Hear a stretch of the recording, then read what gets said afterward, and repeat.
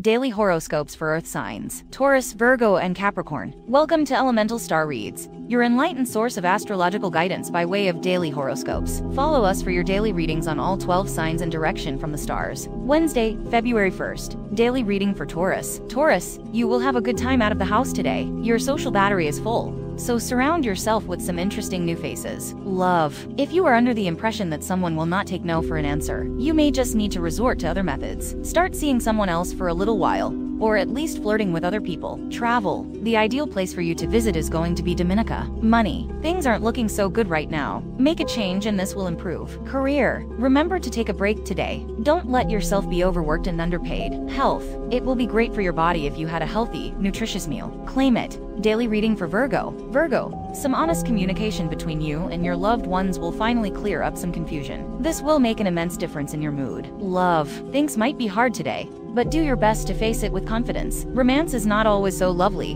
but things will be just fine. Travel. Steer clear of making any big travel moves today. Money. Support and advice from people you trust will help your financial situation. Career. If your brain feels worn out, try not to get frustrated. Give yourself a break. Health. Let yourself have an unhealthy meal today. You've been really disciplined with your diet. Claim it. Daily reading for Capricorn. Capricorn, you may get a message today that will spring you out of your slump. Whether this be negative or positive, things will really ramp up for you today. Love. You are reaching a critical point in your relationship today. This could mean breaking it off or taking it to the next level. Whatever happens, things will be fine. Travel. The ideal place for you to visit is going to be the Faroe Islands, a beautiful destination. Money. Jupiter is sending you lucky energy in terms of your finances. Career. A coworker might get on your nerves during today. Make sure you keep your cool. Health. You aren't feeling all too great. Yoga or pilates can really help you feel more calm and more centered. Claim it. May the power of the divine be with you as you face the challenges and opportunities of the day. Remember to trust in yourself and the guidance of the stars. Have a powerful and meaningful day.